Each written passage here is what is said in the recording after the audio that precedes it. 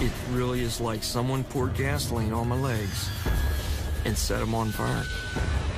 I was never, ever prepared for what I saw. Didn't even look like him. I could barely recognize his face. Knowing the worst is in store for your daughter and it's heart wrenching. I just wanted the pain to go away. What are you going to do for my child? You've got to save her. Next, two medical mysteries that defy the experts. Walt Breidigan's seemingly ordinary life is turned completely upside down when he gains more than 100 pounds in less than 24 hours, forcing his family to face a terrifying reality. I just never thought that somebody could hold that much weight. I kept saying to them, please don't let him die. Please don't let him die. Then, when eight-year-old Ashley Mullinax begins to drink more than three gallons of water a day, little does anyone realize it's a sign of a horrifying disease that could kill her at any given moment. Ashley went from two or three 20-ounce bottles a day to two to three gallons a day. There was something seriously wrong with my child.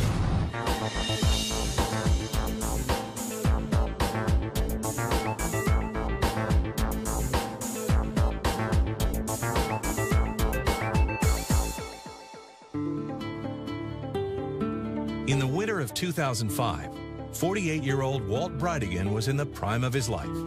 He had a good job working as an engineer, three grown children, and had recently celebrated his 26th wedding anniversary with his wife, Nancy.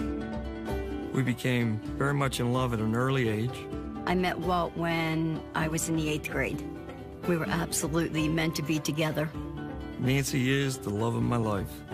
I've loved her since I was 15, and even now, it's as strong as it was when we were 15. Throughout their life, Walt stays nearly as active and fit as he was when they first met. Walt was a very athletic guy, never sat still, always liked to coach, very seldom ever missed work. I had never gone to the hospital and never had any medical conditions. But in February of that year, the usually indestructible Walt wakes up one morning with what seems to be a case of the flu. It was a tired feeling that you could not get out of bed. It seemed like his symptoms were like an upper respiratory virus. My daughter had had the exact same symptoms a week before. I thought after a couple days, this will pass.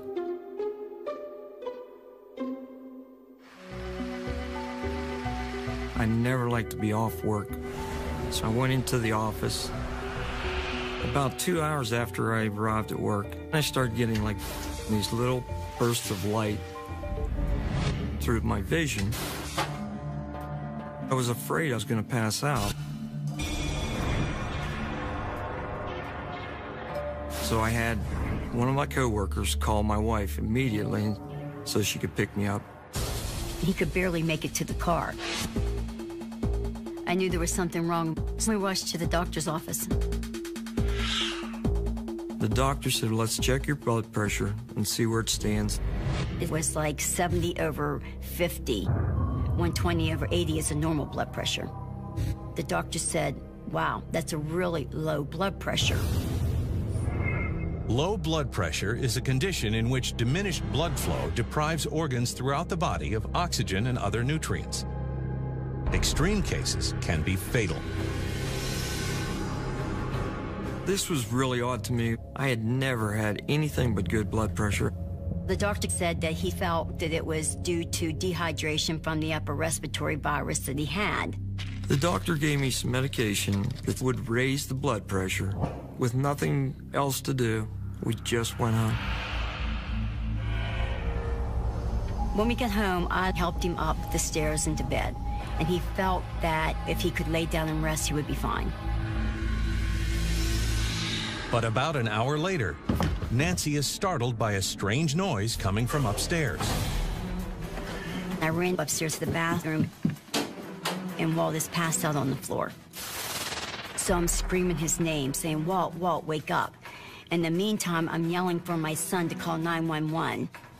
I actually thought, and when I couldn't bring him to, that he had passed away.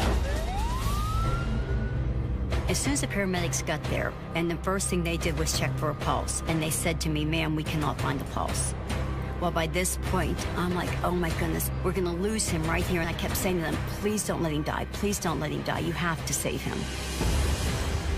Seconds later, to Nancy's relief, Walt opens his eyes. When I came to, and the paramedics were working on me, I thought, I'm in trouble. I've got some serious problems. They got him stable enough that they could find a faint pulse and the blood pressure. They loaded him up into the ambulance. When the ambulance pulled up to the hospital, all you can see is everything's happening so fast. And there's doctors, nurses around you. They saw his blood pressure, and they said to me he is extremely, extremely critical. Because the pressure was so low, they were trying to pump as much IV saline solution as they could to try to regain blood pressure. The IV transfers water directly into Walt's bloodstream, increasing the volume of fluid in his blood vessels, and as a result, the amount of pressure against the blood vessel walls. The fluid was helping him, but I could not take my eyes off the blood pressure machine, and it still was not raising up the blood pressure as much as what I thought it should. Unsure of what's causing his low blood pressure, the doctors begin running a battery of tests. But before they get back any results, a frightening new symptom sets in. I started getting pain in my legs. It started gradually, then it started getting progressively worse. It really is like someone poured gasoline on my legs and set them on fire. This absolutely came out of nowhere. I had never seen somebody in that much pain. They had connected the morphine to the IV and immediately the pain subsided. Now I was starting to worry about my condition and why I was there. The doctors kept saying to me, We have no idea what is wrong with him. We'll wait for the blood work to come back. Two hours later, the findings are in, and they're nothing short of shocking. He said that you have low white blood cell count, and that the severe pain that you have in your leg, maybe you have the flesh eating disease. They said to me that they had one a couple months ago, and the symptoms were exactly the same. Flesh-eating disease, or necrotizing fasciitis, is a fast-moving infection that corrodes the skin from the inside out and often results in death. Most people do not survive this. I knew that most people, their organs shut down. I was extremely terrified. How does this happen that you go from low blood pressure to something that's critical and life-threatening? This was really upsetting. It's really starting to worry me. Am I going to make it out of this hospital?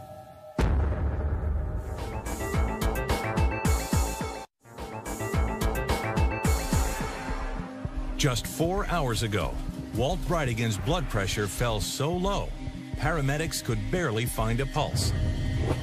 Now, doctors have an entirely new but equally pressing concern. Walt may have contracted a deadly flesh-eating disease. Right before they took Walt up to do the testing, I said to him, Walt, I want you to give me a promise that no matter what, you will fight to the very end because I cannot live without you. I gave her my promise I'd stay alive. I've never broke a promise to her, but I didn't think it was going to last many more days. The wait for the test results is agonizing. But a little over an hour later, they get the answer they've been praying for. And the doctor said to us, all the results came back negative. We do not believe that he has flesh eating disease. I think there were 12 doctors that were checking on me, and no one really had an idea why I was there.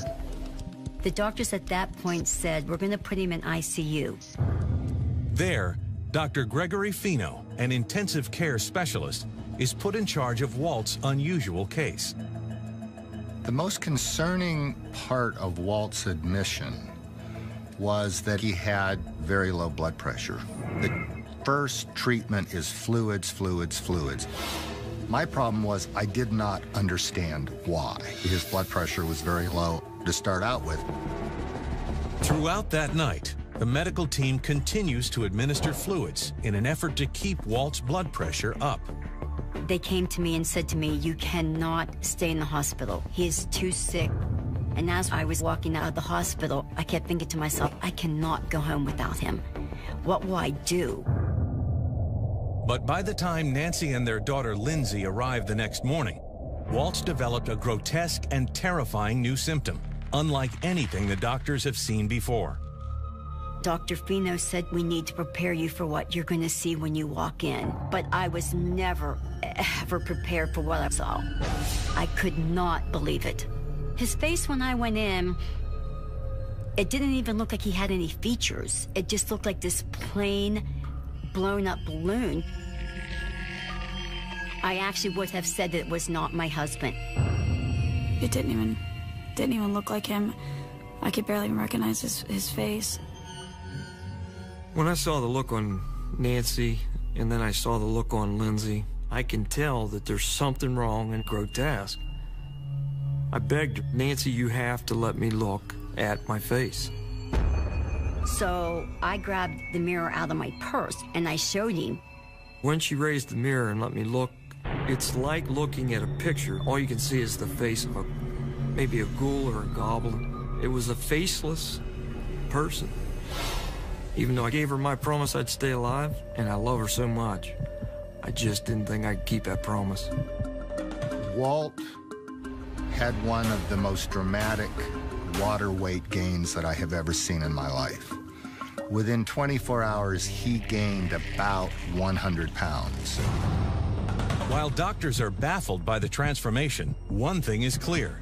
If something isn't done soon, Walt's skin could literally burst. Dr. Fino explained to me that if I didn't start going down in size, that the skin wouldn't be able to take it, and they would have to cut me to relieve the pressure.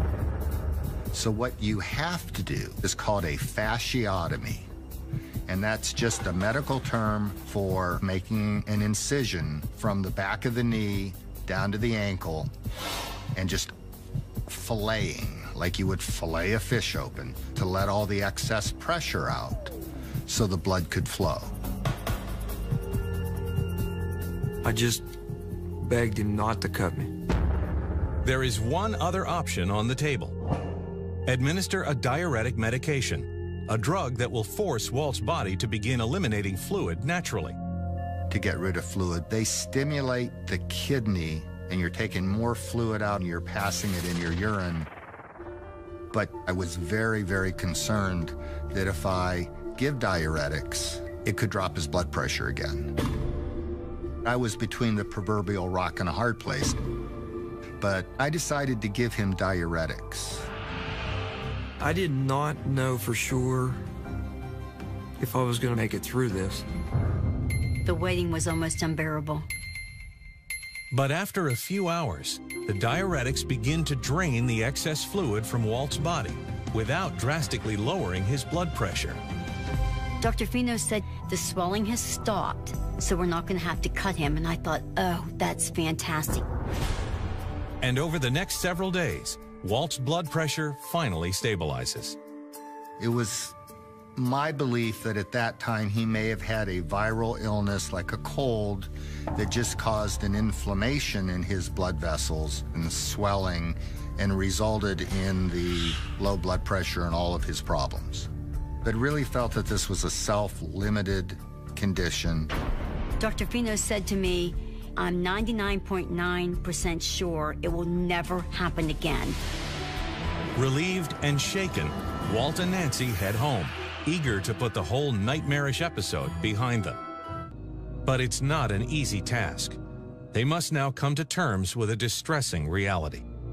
Because of all the swelling, Walt developed the condition called foot drop because the nerve that allows you to lift your foot up got compressed. And Walt required special braces and a lot of physical therapy.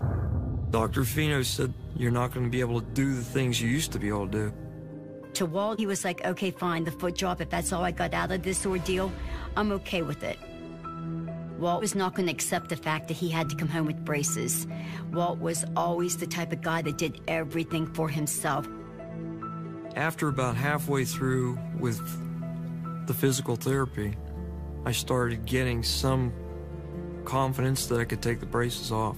He worked every day at learning how to walk on his own, and the day that he could walk without the braces was a great relief for him.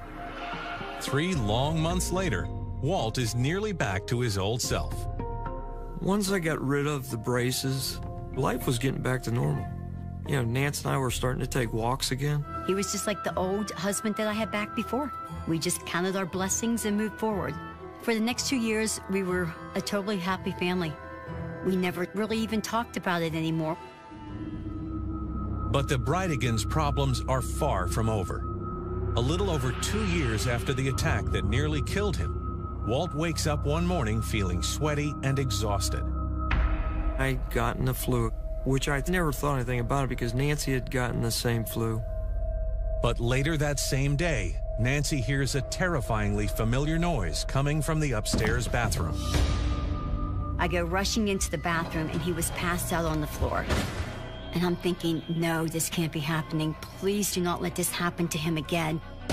I said, Nance, it's back. It's the same thing. I know it. You gotta get me to the hospital now. I really didn't think that we would be able to survive this this time around. I kept thinking, I know we're not going to make it through this one. He's not going to be strong enough. My mind started racing. How could he have another attack of this? So I called 911. The paramedics come. He said his blood pressure is so low. And I said, I know. This happened before.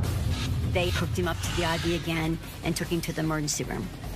There's a lot of people around. The doctors are starting to run to assist you. It's a really bad feeling. Alarmed at Walt's vanishingly low blood pressure readings, ER doctors once again pump him with fluids in an effort to raise it. I was really, really starting to swell up. And in my mind, I kept thinking, are we going to blow up like that again? By chance, the specialist who spearheaded his case during the last attack, Dr. Gregory Fino, is on duty at the hospital when he hears that Walt is back. I was in the intensive care unit when he came to the hospital. I thought, here's an instant replay of two years ago. This could not have been a virus the second time around. I've got to dig further because something else is going on. And I've found a syndrome that was described in 1960. It was a case report of a very, very rare disease, and he fit the picture perfectly. Dr. Fino came in and he had this article in his hand and he said, Walt, I think I know what's wrong with you. They told Walt and Nancy, based on the swelling and the recurrence, his diagnosis best fits with a condition called systemic capillary leak syndrome. Systemic capillary leak syndrome is an extremely rare disorder in which capillary walls actually leak fluid. In healthy individuals, capillaries transport blood and water throughout the body. But in patients like Walt, the capillaries suddenly develop holes, causing water to leak out and blood pressure to plummet. The capillary is the very smallest blood vessel that carries blood and water so the tissues can get their nutrients. So they're like very small garden hoses. His garden hoses, or capillaries, had little holes in the side of them, and stuff leaked out. I said, Well, this is great. You know, after all these years, I now know what I got. Unfortunately, Dr. Fino can't explain why Walt suddenly developed the disease after so many years of good health. Systemic capillary leak syndrome is a mystery as to what causes it. We doctors just don't know. It's just one of those odd diseases for which I have no explanation why he went from 2005 until 2007 without symptoms. But it's clear that when Walt passed out two years earlier, the disease had just set in. You have leakage of water out of the bloodstream, and your blood pressure drops. And when you get very, very low blood pressure, the brain doesn't get enough blood and oxygen, and you faint. As the water continued to leak out of Walt's capillaries, it began to build up in his surrounding tissue, ultimately triggering the severe leg pain that doctors mistook for a flesh-eating disease. He had all of this fluid outside of his blood vessels in his legs. The major nerve in his leg got compressed, and blood vessels got compressed, so the muscles weren't getting enough oxygen. Ironically, the more fluids doctors administered to stabilize Walt's blood pressure, the more water leaked out of his capillaries, causing the grotesque swelling. If you have a couple gallons of water in your blood system, 90% of that water leaked out of the blood system into his arms and legs. We also gave fluids intravenously, and he got more and more swollen. With a diagnosis finally in hand, the question now is how to treat his disease before it kills him. If he really lost even more fluid out of his blood, all of his organs may have just shut down because they didn't get any oxygen. Organ failure in Walt was severe and life-threatening. He was as close to not making it as I've seen. I was probably the most scared in my life.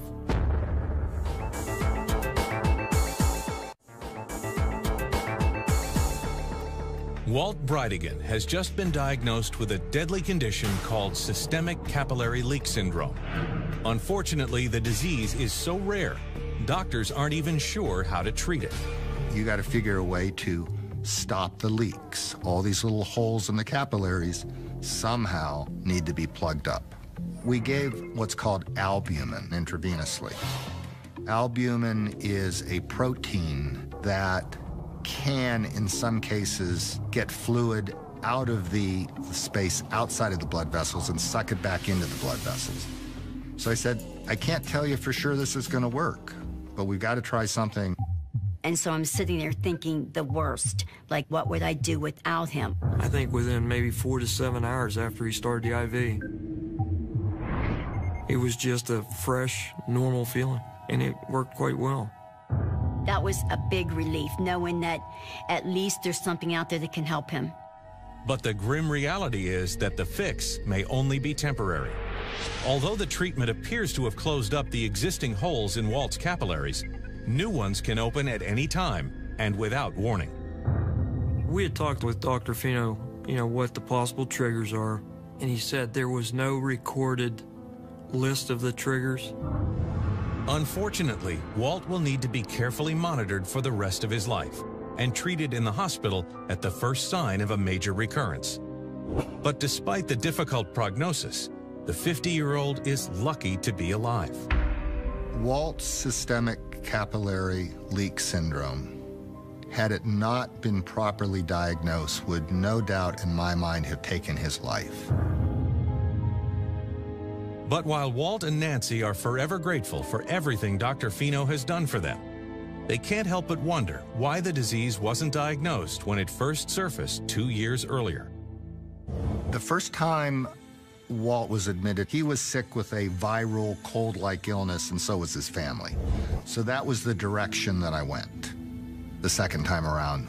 This could not have been a virus because he had recurred. So I better look a little bit further and do a little more intensive investigation. We think there's hundreds or thousands that have had it that didn't live through the first episode. Right now, we think there's less than 50 in the world. Systemic capillary leak syndrome is the rarest disease that I have ever encountered in my 30 or so years of medicine. Today, four years since his first attack, Walt has learned how to manage his condition. With capillary leak syndrome, the leaks will continue. With mine, I leak usually once a week, but one thing that I'm blessed with is that I can tell when it's getting serious. And I go straight to the emergency room. I have a bracelet that tells them exactly what to do. Walt is very lucky. He's one of the ones who have lived the longest with it. There's a sense of hope. I think every time the attacks get easier. We're still together. We just celebrated our 30th anniversary. My plan for the future is to be able to celebrate my 100th wedding anniversary with Walt. I gave her my promise I'd stay alive. Now we're years later.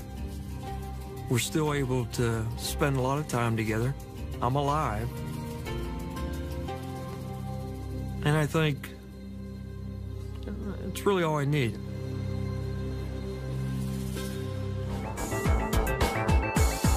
While Walt Breidigan's symptoms were so extreme they couldn't be dismissed, it took more than four years before any doctor identified Ashley Mullinax's strange behavior as a sign of a deadly disease. In 1998, finance analyst Amy Perryman and marine recruiter John Mullinax had been divorced for two years, but they still had one thing in common their love for their four year old daughter, Ashley. Ashley was the center of attention in everything that we did. She was a great kid. We tried to make sure that whatever was best for Ashley, we, we followed. There were pictures of Ashley, John, and myself at his place, and there were pictures of us as a family at my house. She seemed to not even be bothered by it. And despite the divorce, Ashley seems to be leading a charmed life. Ashley was extremely healthy. She never seemed to get sick. When Ashley was young, two, three, all the up to four years old, she was just a normal kid. But shortly after her fourth birthday, Ashley develops a habit that her parents find puzzling. Ashley would come to me several times a day and request water. She just started drinking more and more. It was very strange. She would just refill a 20 ounce bottle of water seven or eight times a day, two times an hour. That wasn't normal for children her age. She's drinking a lot of water, but my goodness, she goes to the restroom eight, ten times during daylight hours. That's crazy. Then the bedwetting started. It was almost a nightly occurrence. We had to go out and buy rubber sheets for the mattress to protect them. It was becoming quite a problem for her, and I found that to be bizarre. I called and made an appointment for Ashley to see her pediatrician just for a routine physical. The doctor started to run some basic tests, and then we began talking about this incessant thirst. And the doctor mentioned specifically these are key symptoms of diabetes. We need to have her screened. Juvenile diabetes is a disorder in which a child's body is unable to regulate its glucose levels. Unless carefully managed, the disease can be fatal. I could have never imagined when I held her in my arms for the first time that I ever would be contemplating these issues. It is difficult anytime you think that your child may have an illness. This is going to be a child who is crossing the monkey bars one minute and the next minute having to monitor what her blood sugar is. But when the findings come in, they leave the young parents with more questions than answers. The doctor came in and told us that Ashley's glucose levels were normal. Ashley does not have diabetes. I asked the doctor if there was any other concern that I needed to have as far as her drinking so much water. And they told me everything was fine. We really had no choice but to accept the diagnosis. But despite the doctor's assurances, Ashley's compulsive drinking continues to intensify. And by the end of the year, she's going through up to 20 bottles of water a day. Ashley would try to sneak water all the time. She'd sneak bottles of water, and I would find them under her bed. I was thinking, there has to be limits. Nothing made sense. We didn't know where to go with it. Over the course of three years, we went and saw five to six pediatricians. And there was never an answer. It always came back the same, you know, negative for diabetes. Doctors confirmed with us and reassured us that there was absolutely nothing wrong with Ashley. Not sure where to turn next, Amy and John do their best to manage the strange behavior. But it isn't long before Ashley's teachers begin to express their own concerns. When Ashley was in school, her teacher came to me and she said Ashley was going to the restroom sometimes twice an hour. So when you add up all that time, we're talking 16, 20 times a day. When I would be in class, I would always have to use the bathroom over and over and over again. And and the teachers would always get really annoyed with me. It was frustrating because I didn't know what I was doing wrong. You know, why can't I not be thirsty? Making matters worse, the excessive amounts of water she's consuming are beginning to take a toll on her body. Two to three times a week, I would get her up from school and she would drink a bunch of water and I would say, Ashley, stop drinking so much water. You're going to make yourself sick. And right before we would leave for me to take her to school, she'd get sick to her stomach and vomit. And there wasn't even any substance to it. It was all water because it was so early. It just filled my stomach up with water and there was nothing else in it. And you can't do that. You would end up vomiting. It was just from drinking water, and that, yeah, that's alarming. Whatever it is, is gone to the point to where now she's physically ill from drinking water. It's a lot for an eight-year-old to deal with. But shortly after the end of the school year, Ashley begins to develop an entirely new and painful symptom. I started having a headache. It was horrible. It was very throbby, like something was squeezing my eyes, and just over and over and over. It was really bad. So I gave her some over the counter medication and she seemed to go on about her business. A headache's a headache, they'll pass. So I didn't think too much of it at first. But after four days, Ashley's excruciating headache still hasn't subsided. She's just, she's not feeling any better and the pain is getting worse. I knew something was very wrong, so we rushed directly to the doctor's office. He said she sounded a little congested and probably had a sinus infection. The doctor prescribed antibiotics to treat the infection. I felt very confident this was all just going to blow over and she was going to be fine. But the agonizing headaches don't go away. In fact, they intensify. Over the course of the next three weeks, we went to two other pediatricians because this sinus infection wasn't getting any better. And um, all of them prescribed different antibiotics. None of them provided any relief. I just wanted the pain to go away. Then, just when Ashley thinks things can't get any worse, another frightening symptom sets in out of the blue. I noticed she was covering her left eye. I pulled her hand away and I said, Ashley, what are you doing? And I explained to her, I see two of you. Like, you're right here, but then there's another you right here. Her left eye was turning in towards her nose and looking over towards the right instead of looking straight ahead. I was deathly afraid. So we rushed directly to the doctor's office. As soon as we got to the doctor's office, he's looking in her eyes. He turns and he looks at me, and the blood just ran out of his face. This is not a normal happening. He was very, very concerned. Immediately, he sent us to the hospital to have an MRI. I felt like the wind had been sucked out of me. We got in the car and just started driving. I immediately called John and said, there is something seriously wrong with Ashley. What is it that these doctors have missed? It scared me to death. To know something is definitely wrong with my daughter. I got in the car and raced to the hospital.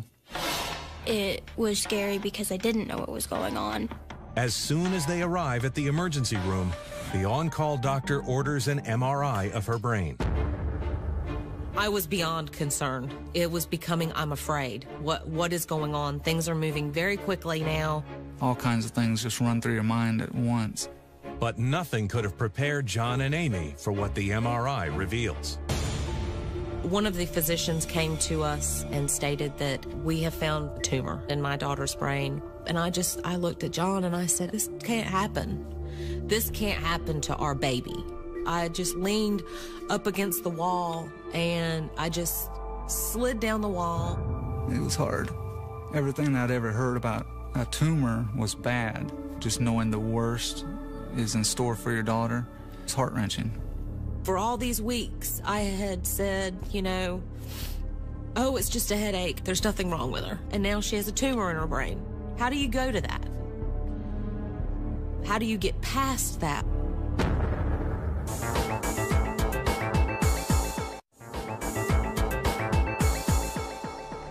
Eight year old Ashley Mullinax has been experiencing baffling symptoms for more than four years.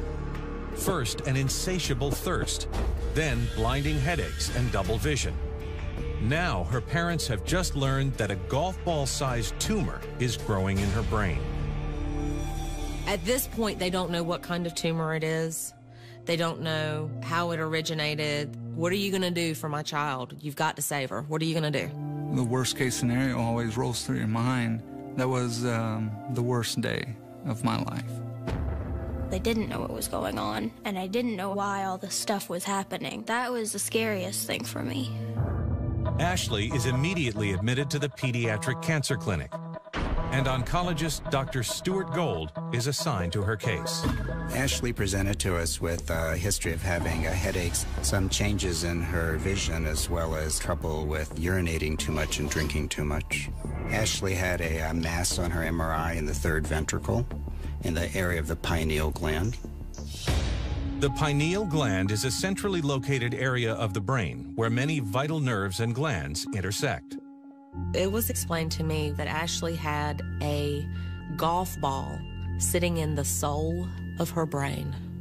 That the soul was where all of the neuropathways connected and crossed. But as dire as Ashley's condition is, the doctors can't treat her until they determine exactly what kind of tumor she has. We get clues on MRI scans of what things may be, but we never know what they are for sure until we have a biopsy and can look at it under a microscope. We needed surgery to confirm the diagnosis. It was like living in a virtual nightmare that somebody was going to have their hands inside of her brain. Trying to get a piece of tissue, sometimes you can have bleeding, you can have other complications that could lead to death or neurologic consequences. There was a 10% chance that Ashley would not survive the surgery at all. But it was explained to me that not doing the surgery it was about a 100% chance of death. When we had to wheel her into surgery, that was the hardest thing I have ever done in my entire life. We had to take a long trip down a hallway to the OR. The hardest part was when the doors closed.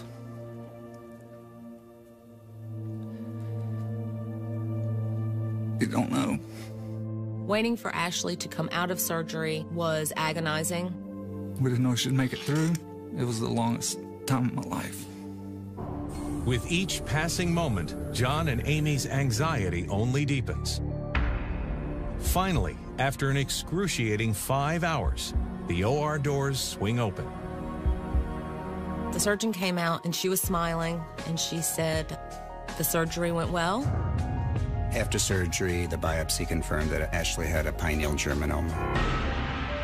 A pineal germinoma is a rare type of brain tumor that is formed by germ cells. In healthy individuals, germ cells play a key role in determining the sex of a fetus. But in patients like Ashley, for unknown reasons, the germ cells travel to the brain and wreak havoc on multiple neurological systems. Knowing that this had been growing in Ashley's brain for her entire life, that immediately shocked me. Germinoma evolves somewhere in the development of the embryo as cells called germ cells migrate to the wrong area and they take up home and grow abnormally and cause a tumor. As tumors grow in the area of the pineal and the pituitary gland, they can destroy the pituitary gland. As this happens, the pituitary gland can no longer do its basic function, making hormones that help regulate the body. In Ashley's case, one of those hormones controlled the production of urine and led to a rare condition called diabetes insipidus. Diabetes insipidus is when you cannot concentrate your urine. So you keep urinating and urinating, and you get dehydrated and you drink and drink, and it actually looks quite a bit like childhood with diabetes, but is not. For years and years, doctors kept looking at me saying all the blood tests are normal, when in all actuality, the blood tests weren't normal. They just weren't testing for the right thing. And as the tumor in her brain grew bigger, it led directly to Ashley's other symptoms. The tumor blocked the flow of her spinal fluid. This caused a backup of pressure, and this caused her headaches. Ashley had double vision because she had increased pressure in her brain, causing pressure on the brainstem. More than four years after Ashley's first symptoms set in, Amy and John finally understand what's wrong with their child. And it raises the question as to why it took so long to identify the critical clues. Childhood cancers and tumors are very rare. I've been a pediatric oncologist here at UNC for about 20 years. We've seen a pineal germinoma a handful of times. But while the surgery to diagnose the condition is a critical step, Ashley's ordeal is far from over. First, doctors need to determine if the eight year old suffered damage to her brain during the operation. Although the surgery was a success, we were still not out of the woods. We needed to see if there were any effects from surgery. The first question that I asked Ashley when she woke up was, How many mommies do you see? And I said, One. And she kind of broke down a little bit. I was tired, but I didn't hurt. My head didn't hurt. It was such a relief to know that, you know, she's okay. Right in that moment, everything's fine. Still, the worried parents must now face another harsh reality. Ashley will have to undergo treatment to shrink the tumor in her brain. Dr. Gold initiated a plan for Ashley to go through three rounds of chemotherapy and six weeks of radiation. I was a little upset that I had to shave my head. After I did it, though, I was okay with it. I could wear a hat at school, which was really cool because all the other kids couldn't. I learned by far that my daughter was one of the strongest individuals I will ever encounter in my entire life. At the end of all the uh, chemotherapy and then the radiation treatments, they did another MRI and the tumor was gone. This is when finally I could take a breath of air. But while the gravest threat to Ashley's health, the tumor, has been successfully treated, she suffered extensive damage to her pituitary gland and will need to take hormone replacements for the rest of her life. Everything that the brain would actually direct as far as hormone has to be directed medicinally. So her weight is directly affected, her metabolism is directly affected, and the diabetes insipidus, all of that is regulated through medications that she has to take on a daily basis. The tumor did the damage, but still, we're pretty lucky. We were told that if the tumor had gone undiagnosed and untreated, Ashley would have probably had a stroke and she would have she would have died. Left untreated, Ashley's tumor would have been fatal. Anybody that has a kid, you know, they're really lucky to, you know, have that gift. To have it almost taken away from you, it's frightening. Today, despite her brush with death, Ashley is thriving. I've been tumor free for seven years now. All my hair has grown back. I'm 15 and I'm very happy now. She's a normal girl again. It's just a good feeling to know that we're going to have her for a lot longer. The fact that we almost lost her and the fact that we have had this second chance with her, it makes every moment special. The glass is never half empty anymore. It's always half full.